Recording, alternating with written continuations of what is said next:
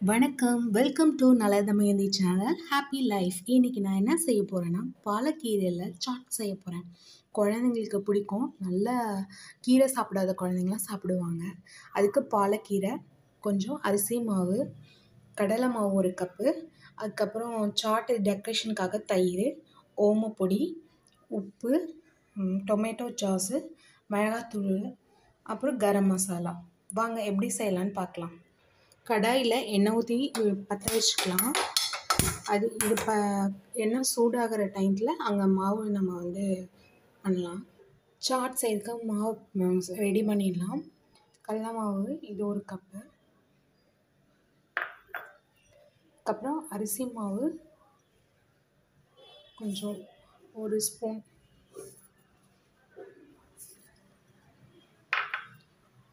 அப்புறம் மிளகாத்தூள் கொஞ்சம். கரம் மசாலா கொஞ்சம்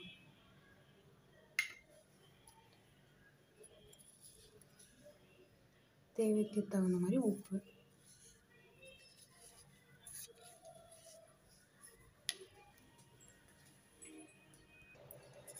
தண்ணி ஊற்றி மிக்ஸ் பண்ணிக்கலாம்.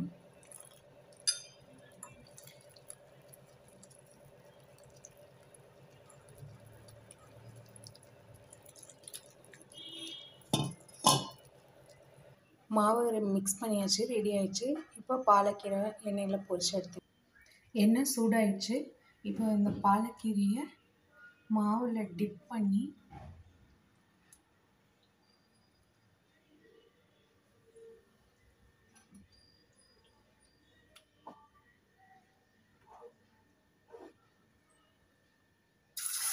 டிப் பண்ணி ஒவ்வொன்றா போடணும்.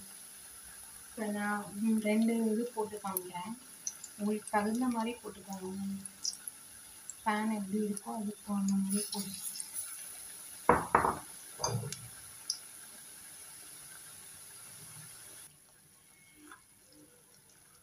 இந்த மாதிரி நல்லா பொரிச்சு ஃப்ரை ஆனதுக்கப்புறம் எடுத்துக்கோங்க. இது மாதிரி ஒவ்வொன்றா போட்டு ஒவ்வொரு லீஃபாக போட்டு நம்ம ஃப்ரை பண்ணி ஃப்ரை பண்ணி எடுத்துக்கலாம். கொஞ்சம் ஸ்லிம்மில் வச்சு தான் பண்ணணும் இது நல்ல கிறிஸ்பியாக இருந்தால் தான் அப்போ தான் சாட் மாதிரி இருக்கும். நல்லா முறு முறு முறுன்னு இருக்கும்.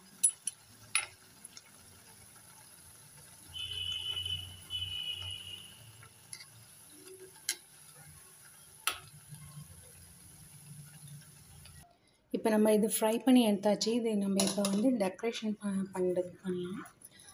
சாட் வந்து இந்த சேவ் இருக்குல்ல இதை என்னடா இப்படி போட்டுட்டு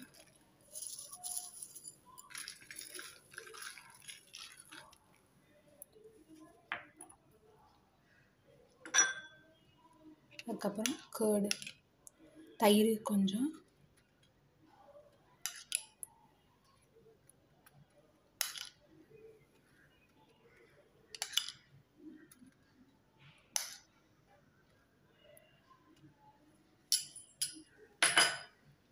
Tomato sauce. குழந்தைங்க மேக்ஸிமம் டொமேட்டோ சாஸ் தான் ரொம்ப விரும்பி சாப்பிடுவாங்க. அதனால் நான் டொமேட்டோ சாஸ் நீங்கள் வந்து அந்த சமோசாக்கு டர்மரிக் சட்னி இருக்குல்ல அது கூட பண்ணி விடலாம்.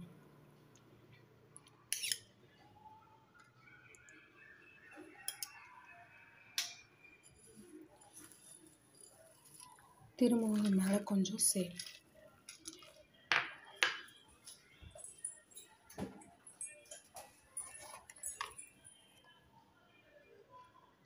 லைட்டாக சாட் மசாலா வேணால் போட்டுக்கோங்க ஆப்ஷன் இல்லை குழந்தைங்களுக்கு கொடுக்க வேணான்னா விட்டுடலாம் ஆனால் சாட் ஐட்டில் சாட் மசாலா போட்டால் தான் நல்லாயிருக்கும் கொஞ்சமாக சாட் மசாலா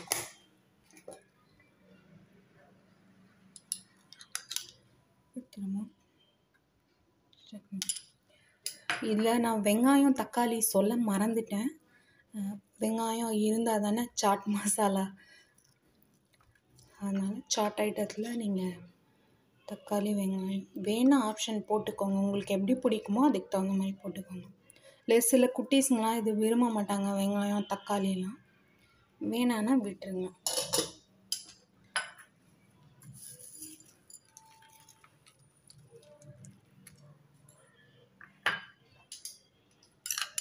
ஆனால் இதில் தயிர் இது போட போட தான் நல்லாயிருக்கும்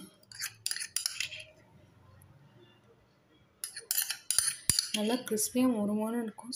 நீங்கள் இதை செஞ்சு எடுத்து வச்சுட்டு அதை கொடுக்க போகும்போது இதை சர்வ் பண்ணி இது மாதிரி பண்ணி கொடுத்தீங்கன்னா நல்லாயிருக்கும். இல்லைன்னா தயிரில் ஊறி சீக்கிரம் ஒரு மாதிரி கிறிஸ்பினஸ் இல்லாமல் போயிடும். இதுதான் சாட் மசா பாலக் சாட் ரெடி சாப்பிட்டு நல்லா என்ஜாய் பண்ணுங்கள் ஹாப்பி லைஃப்